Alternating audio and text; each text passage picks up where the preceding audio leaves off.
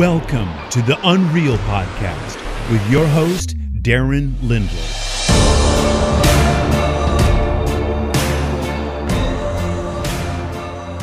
Hey, friends, just wanted to let you know that the fourth episode of the Unreal Podcast, True and Amazing Stories, is up and it's available to you on almost any format. It's still not showing up on iTunes. It should be up any day now. I put it up about 10 days ago. They say two weeks.